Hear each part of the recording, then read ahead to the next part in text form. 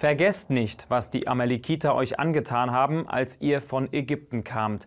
Als ihr von der beschwerlichen Wanderung müde wart, haben sie euch von hinten angegriffen und alle niedergemetzelt, die erschöpft zurückgeblieben waren.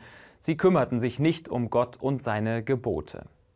So steht es im fünften Buch Mose, Kapitel 27. Der Vers wird gerne in Zusammenhang mit der Hamas zitiert, beispielsweise von Israels Regierungschef Netanyahu. Gott gebietet den Israeliten, die Amalekiter auszulöschen, und das hat Israel bekanntlich mit den Hamas-Terroristen vor. Und damit willkommen bei Fokus Jerusalem. Wir beschäftigen uns auch heute wieder mit dem Gaza-Krieg, aber nicht ausschließlich. Das sind unsere Themen. Experte Itamar Markus warnt vor der palästinensischen Autonomiebehörde. Ärzte helfen Holocaust-Überlebenden mit kostenlosem Service. Biblischer Impuls von Pastor Daniel Gebhardt. Wie konnte das passieren? Bevor wir uns näher mit diesen Themen befassen, schalten wir in unser Nachrichtenstudio für die Meldungen der Woche.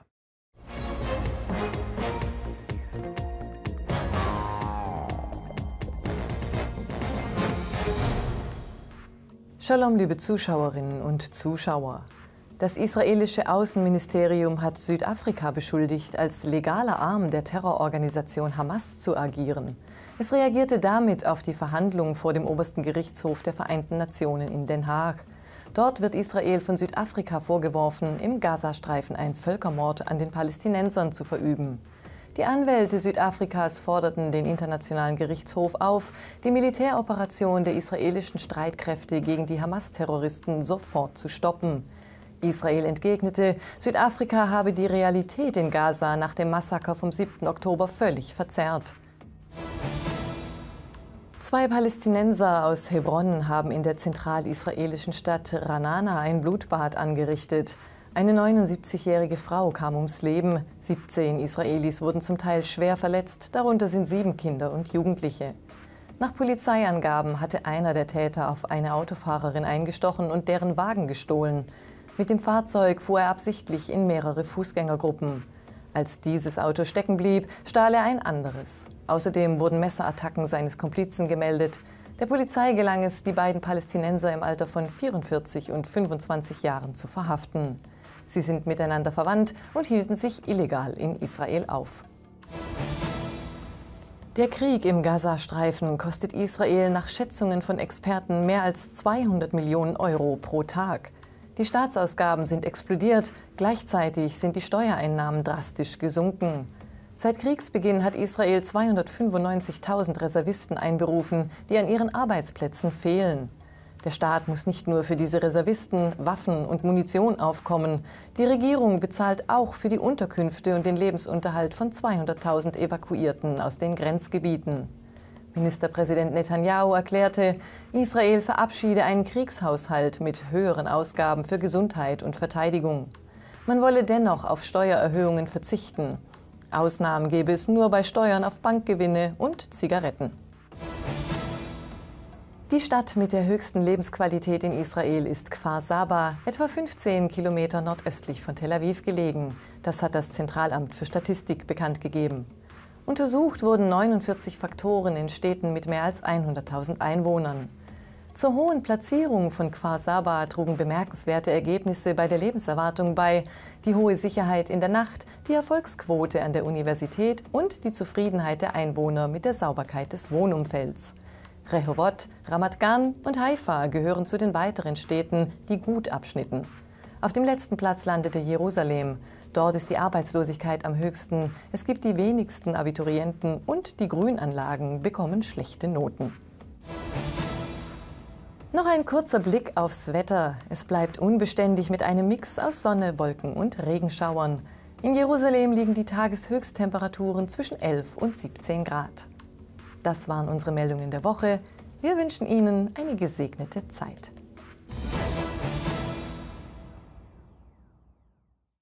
Seit Wochen werden in aller Welt Szenarien diskutiert, wie es nach Kriegsende mit dem Gazastreifen weitergehen soll. Israels Regierungschef Netanyahu hat klargestellt, dass es nicht beabsichtigt sei, dort jüdische Siedlungen zu errichten. Allerdings werde Israel noch lange für die Sicherheit in dem Küstenstreifen zuständig sein. Aber wer stellt dort die Regierung, wenn die Hamas tatsächlich vernichtet wird? Die internationale Gemeinschaft favorisiert die palästinensische Autonomiebehörde von Präsident Mahmoud Abbas. Das sei ein Unding und gehe an der Realität vorbei, meint Experte Itamar Markus vom Forschungsinstitut Palestinian Media Watch. Das offizielle Fernsehen der palästinensischen Autonomiebehörde feiert das Massaker der Hamas an 1200 Israelis. Im Text heißt es, wir stehen an der Seite unserer Brüder im Gazastreifen, denn sie sind wahrlich eine Quelle des Stolzes, des Heldentums und der Ehre für das palästinensische Volk. Itamar Markus ist davon nicht überrascht. Der Leiter des Forschungsinstituts Palestinian Media Watch warnt seit Jahren, dass die Fatah-Partei von Palästinenser-Präsident Abbas genauso israelfeindlich und vom Hass auf Juden getrieben sei wie die Hamas. Wir waren nicht überrascht, dass die palästinensische Autonomiebehörde oder die Hamas so etwas versuchen würde. Sie haben ja schon vorher Massaker verübt an ganzen Familien. Sie gingen in Häuser und ermordeten Eltern samt ihren Kindern. Anstatt das zu verurteilen, bezahlt die palästinensische Autonomiebehörde Löhne an die Familien der Terroristen. Was jetzt passiert ist, war eines dieser Massaker, nur 200 Mal größer. Aber das gab es schon vorher. Wenn du Anführer und eine Regierung hast, die Morde glorifizieren, die Morde belohnen, dann führt das zu einer einfachen Schlussfolgerung. Wenn es gut ist, eine Familie mit drei Kindern umzubringen, dann ist es noch besser, das 100 oder 200 Mal zu machen. Die israelische Armee hat angekündigt, sie wolle die Hamas vernichten. Mittlerweile wurden große Teile der militärischen Infrastruktur der Terrorgruppe zerstört. Mehrere tausend Hamas-Kämpfer sind gefallen. Auch wenn sich der Militäreinsatz noch Monate hinziehen sollte, irgendwann wird er beendet sein. US-Präsident Joe Biden und mehrere europäische Staaten wollen, dass die palästinensische Autonomiebehörde dann die Regierung in dem Küstenstreifen übernimmt. Dann hätte die Fatah-Partei dort das Sagen. Der Hauptunterschied zwischen Hamas und Fatah hat mit der persönlichen Religionsausübung zu tun. Was die Haltung gegenüber Israel angeht, dann lehren beide das Volk, dass Israel vernichtet werden muss. Beide lehren ihre Leute, dass Israel auf heiligem muslimischem Boden existiert. Deshalb fordere der Islam, dass Israel zerstört werden müsse. Was viele Leute als Hamas-Ideologie einstufen, wird auch von der palästinensischen Autonomiebehörde an deren Leute verkündet. Es geht um religiös-islamisches Land. Deshalb hat jeder Muslim die Verpflichtung, Israel von diesem heiligen Boden verschwinden zu lassen. Wenn es um die Ideologie geht, stimmen beide überein. Beide verweigern nicht nur Israel das Existenzrecht, Juden haben ihrer Ansicht nach generell keine Daseinsberechtigung. Die Autonomiebehörde drängt ihre Anhänger zum bewaffneten Kampf. In diesem Fernsehbeitrag erklärt Naim Morar, Fatah-Vertreter in Ramallah, wir rufen unser ganzes Volk auf, sich in der Konfrontation zu vereinen. Die Fatah hat ihren Märtyrern und ihrem Volk versprochen, an der Spitze des Widerstandes gegen die Besatzer zu stehen, und sie wird das Element des Widerstandes nicht aufgeben, sei es der bewaffnete Kampf oder der Volkswiderstand. Laut Itamar Markus geht es den Fanatikern um nichts Geringeres als die Erlösung der Welt.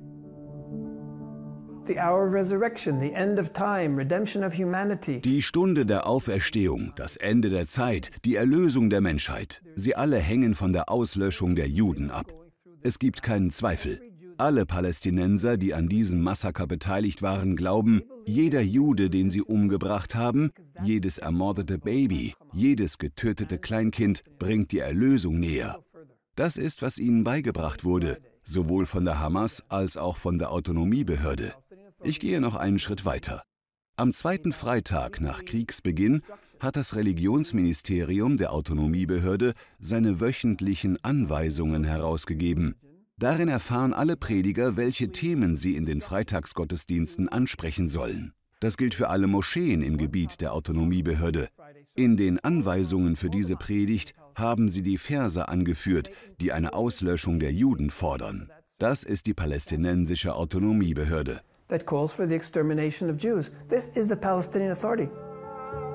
In vielen palästinensischen Städten wie hier in Nablus verherrlicht die Autonomiebehörde Terroristen, die bei Angriffen auf Juden ums Leben kamen.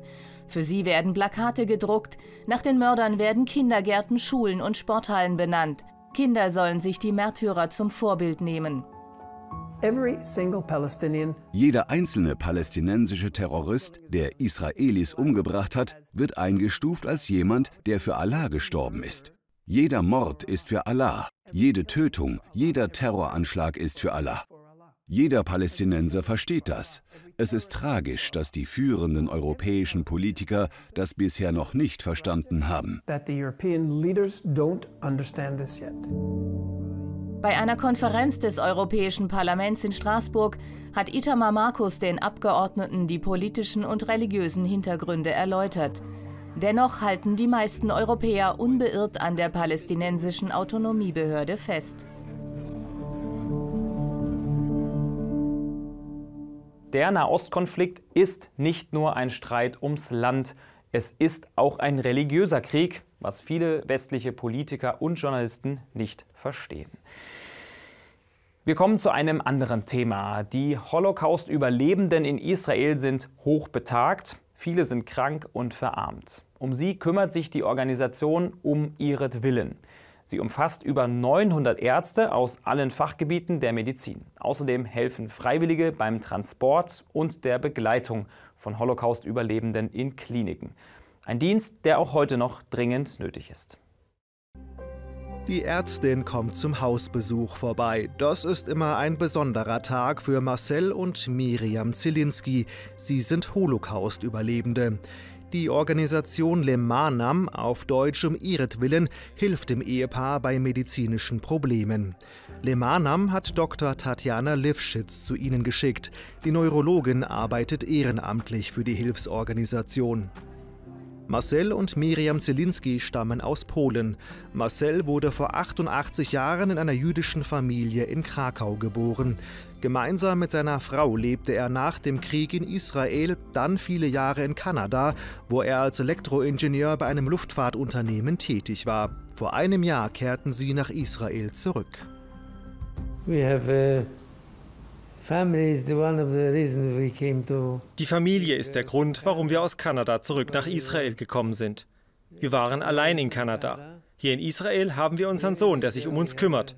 Und wir haben hier die weitere Familie. Seine Kinder, die sind verheiratet. Wir haben Enkel und Urenkel. Sie alle leben hier.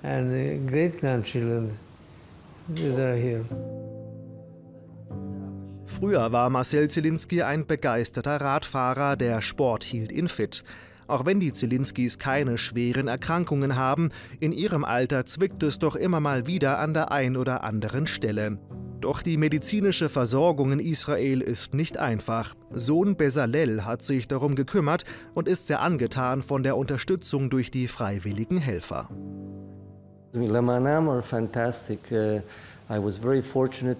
Lemanam ist fantastisch. Ich hatte großes Glück, dass ich sie gefunden habe. In Israel ist der medizinische Standard wirklich sehr hoch. Es gibt viele Spezialisten und das Niveau der medizinischen Dienste ist wirklich gut. Aber leider, wohl wegen finanziellen Aspekten, geht alles sehr langsam. Es dauert lange, bis man einen Termin erhält und einen Arzt zu sehen bekommt. Alles benötigt viel Zeit. Bisher mussten wir damit leben. Wir mussten drei oder vier Monate auf einen Termin bei einem Spezialisten warten.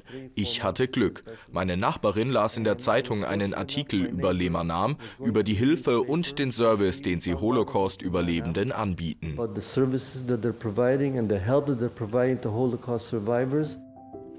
Wenn seine Eltern nun einen Facharzttermin in mehreren Monaten erhalten, ruft er bei Lemanam an. Die setzen sich für die Holocaust-Überlebenden ein und machen einen Termin innerhalb weniger Tage möglich. In Israel leben noch rund 150.000 Menschen, die den Massenmord der Nazis an den europäischen Juden überlebt haben. Sie sind alt, im Durchschnitt 85 Jahre. Ein Viertel lebt unterhalb der Armutsgrenze. Lemanam organisiert nicht nur Arzttermine für sie, im Notfall kommen die Mediziner mit einer mobilen Klinik direkt zu ihrer Haustür. All diese Dienste sind kostenlos. Auch Miriam Zielinski ist Holocaust-Überlebende. Ich war noch sehr jung. Ich war erst zwei Jahre alt, als der Krieg begann. Mein Vater war Zahnarzt. Wir hatten etwas Geld zur Verfügung. Er fragte seine Patienten, ob sie uns helfen könnten, um zu überleben. Nachdem das Ghetto, in dem wir lebten, geschlossen wurde, fand mein Vater jemanden, der uns half. Es war eine Frau mit Töchtern. Sie nahm uns auf und brachte uns auf ihren Dachboden. Zwei Jahre lebten wir auf dem Dachboden. Ich konnte da nur sitzen. Das war natürlich unbequem. Meine Eltern mussten da liegen. Nur abends konnten wir den Dachboden verlassen. Es war eine schwere Zeit, aber Gott sei Dank war ich jung. Ihr Vater starb kurz nach Kriegsende. Miriam verließ Polen, kam nach Israel, dann nach Kanada und nun wieder zurück ins Heilige Land.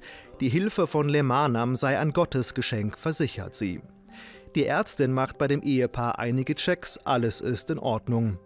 Auf Marcells Unterarm ist noch die Tätowierung zu sehen, mit der die Nazis versuchten, gefangene Juden zu entmenschlichen.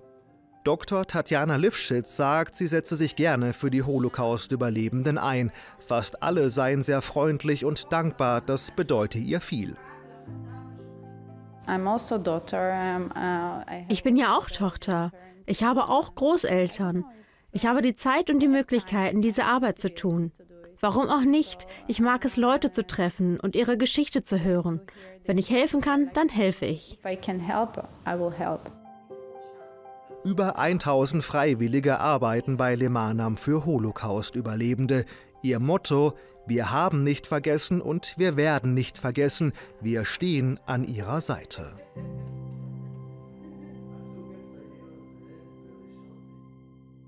Wir machen weiter mit dem biblischen Impuls. Den spricht heute Pastor Daniel Geppert von der King of Kings Gemeinde in Herzliya. Er blickt zurück auf die vergangenen Krisenmonate. Da stellt sich die Frage, wie konnte das passieren?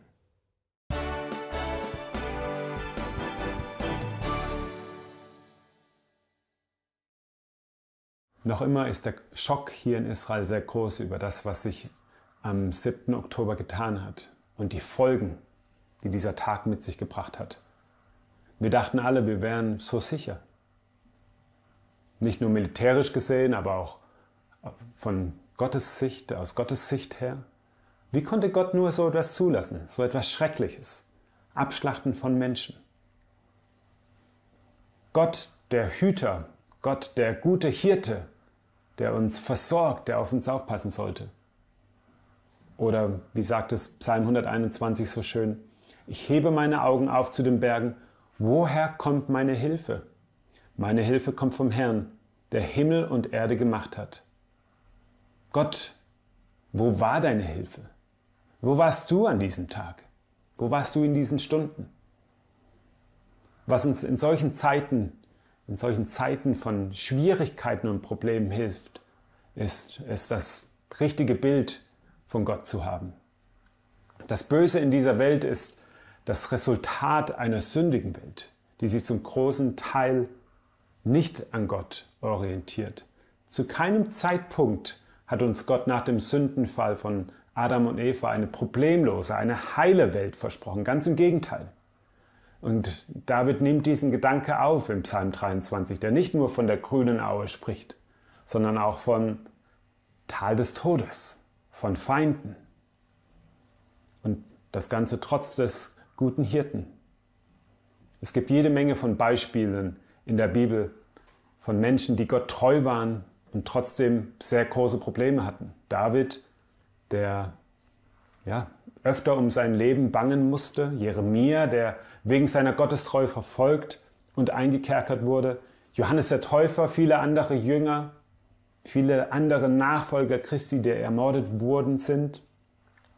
Jesus verspricht uns kein problemloses Leben. Ganz im Gegenteil, er sagt in Matthäus 6, Vers 34, Darum sorgt nicht für morgen, denn der, morgige, denn der morgige Tag wird für das Seine sorgen. Es ist genug, dass jeder Tag seine eigene Plage hat. Jeder Tag, jeder einzelne Tag hat seine eigene Plage. Jeder einzelne Tag kommt mit seinen eigenen Sorgen und Problemen. Einige Verse später erzählt Gott, erzählt Jesus ein, ein kurzes Gleichnis von einem klugen Mann, der sein Haus auf Fels baut.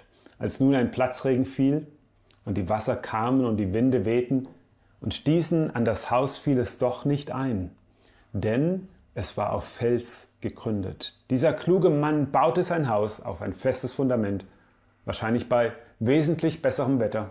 Er hat die Zeit genutzt, vorbereitet zu sein und ein stabiles Haus zu bauen. Und der Regen kam, die Probleme, der, der Sturm, die Probleme, die Nöte kamen und das Haus hielt ihm stand.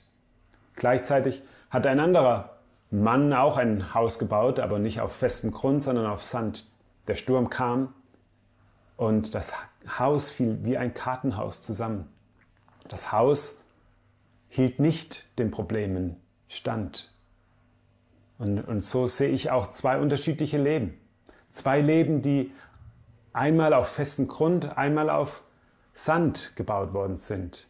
Ein Leben, das auf festen Glauben äh, gebaut wurde und eben eines, das keinen festen Glauben als Fundament hat und dieses Leben zusammenfällt. Wir müssen wissen, dass Gott uns mit unserem, trotz unseres Glaubens, kein rundum alles gut Programm oder Versicherung aufbietet, sondern Nöte und Probleme kommen und wir müssen vorbereitet sein. Und das Beste, was wir tun können, ist, dass wir unseren Glauben tief verankern in Gott.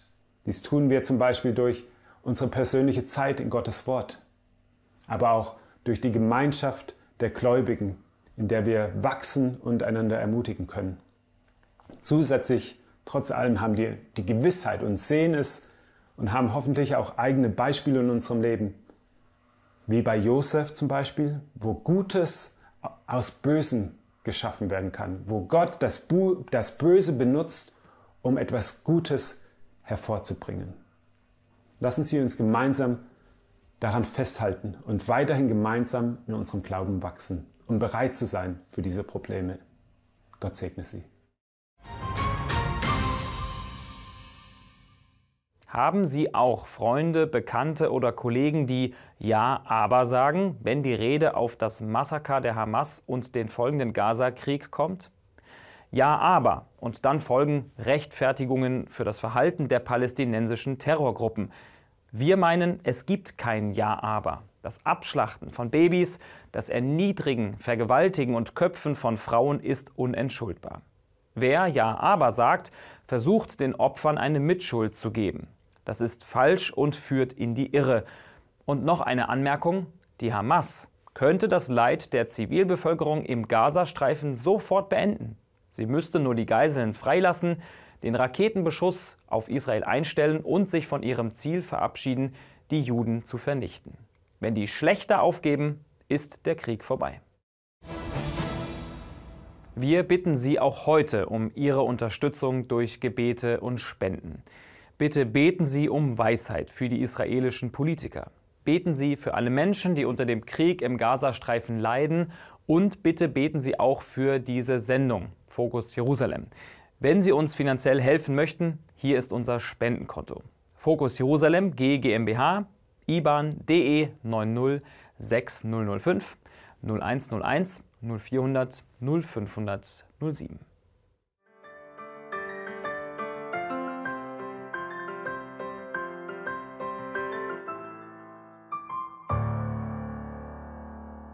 Herzlichen Dank für Ihre Hilfe. Wir verabschieden uns mit Winterbildern aus Israel und Winter heißt in diesem Fall Regen.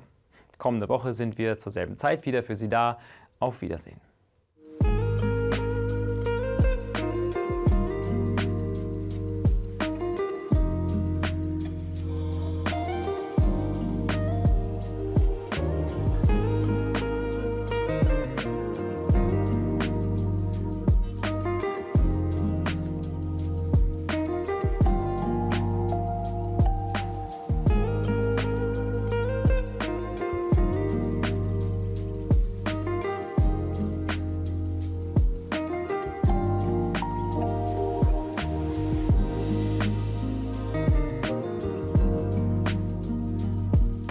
Und nächste Woche bei Fokus Jerusalem